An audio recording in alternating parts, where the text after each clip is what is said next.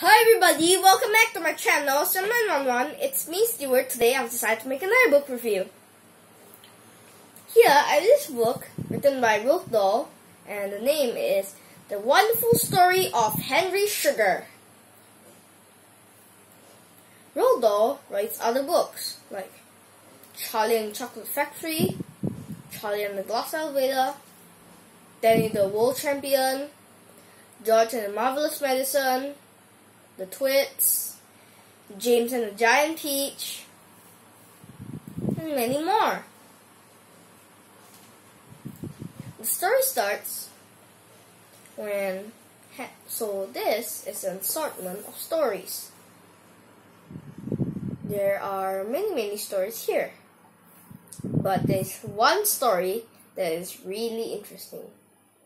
The name is The Wonderful Story of Henry Sugar, just the same as the title. Henry Sugar was a rich man. He was really, really rich and wanted to get even richer by betting on things. Like betting on tortoise races, betting on where the dog will go first, what will it touch first. A lot of things. The rich always try to get richer. It was weird for him. But for other people, it was weird. But for him, it wasn't weird. Because everybody knows that they always want to get richer. One day, he wanted to play canastas with his friends. But there were five people, so he decided to take lots. Who took the lowest card of all go off the game. Everybody took lots, that is except Henry. He drew a three diamonds, the smallest, and luckiest card. He decided, hmm, why shouldn't I find a way where I can get, where I can possibly win without even needing to try, he thought. Well, so he went to the, so he jogged all around the house, and then he went to the library. In the library, he found a small blue exercise book. He opened it. It was written by Dr. Marshall Sugar, his grandfather. What would you do if you found out in a library their grandfather's book was written, published, and was such a famous book? Write down in the comments below, please. Back to the story. He thought, well, this is pretty interesting. I think I want to read it, he said. So he flipped open the book, and to his amazement, it was not what he thought it was. It was a report. And the title was The Man Who Could See Without Eyes. He said, Hmm, this is interesting. Hmm. I think I'll read it. He was so engrossed in his book that even when his friends call him friends call him, he didn't listen. Every day he'll read it. And here's how the story went. The doctors were resting in the in the resting room. It was a room forbidden for anyone except doctors to go in. That is except for nurses, of course. No other people person were allowed to go in. Dr. Marshall and his assistants were getting prepared for an op- another operation. It was a long, busy night for them. They thought, Phew, it's really tiring. But suddenly, they heard something. Dr. Marshall! Dr. Marshall. Someone was calling. Dr. Marshall said, Come in, come in, come on, come in. Where, come in. You don't need to be standing there out in the cold, he said. in came an Indian. This Indian introduced himself. His name was Imran Khan, and he had the power to see with his eyes closed. So the doctors covered his eyes like this. And then after that, they would point out fingers. And then the gamer said that Indian would need to know how many fingers were open.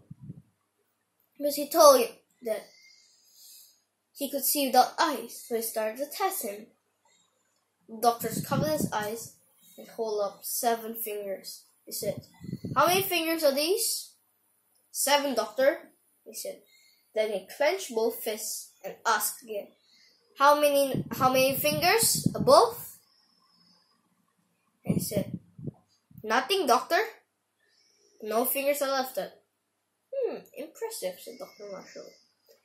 He clenched his fists again and said, How many fingers are they, Imran Khan? And Imran Khan said, Nothing, doctor. Wow, the doctor was really impressed. He thought, Well, well, well, this is really interesting. What kind of trick do you use? Imran Khan said, No, it's not any kind of trick, doctor. I have found the power to see without my eyes because I've been training for 30 years. Doctor said, What? 30 years? I mean, look, you're only 40. How can you, how? Don't tell me you practice when you're 10.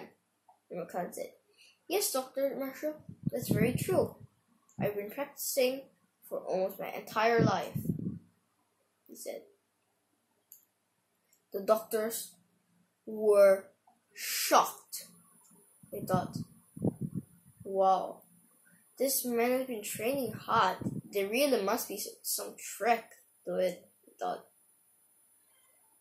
Well, doctor, mm, I shall need to go. But first, can I ask you for a teeny tiny small favor? He said. Look, said, sure. It's pretty impressive. Any other trick you want to show us? And I said, Yep, doctor. He asked them to bandage his forehead and his eyes, but lift his nose, of course, for his for breathing. He said, "Can you please put like some dough on my eyelids?" Of course. Uh, let me shut my eyelids first.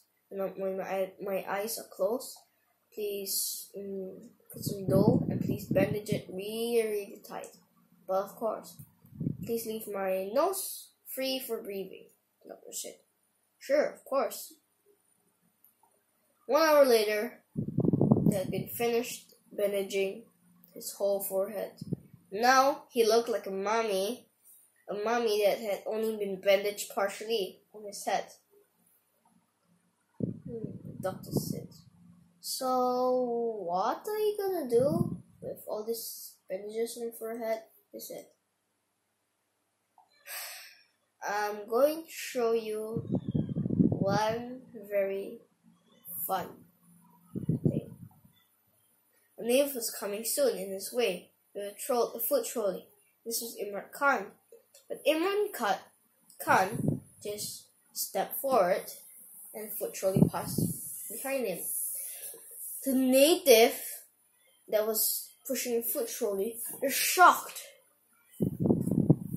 He thought, Wow. Is this man a ghost or what? He thought. Some pe- he was some people going up the corridor, and when Imran Khan was going down, they hurried. How was this man walking around with that so much bandages on his forehead? He thought. Well, he said, this is interesting. Everybody thought. But in front, he had a bike with a signpost. Look at me, the man can see without eyes. Please join at circus at the circus tonight at 8 p.m. to see me perform, he said. Everybody was shocked.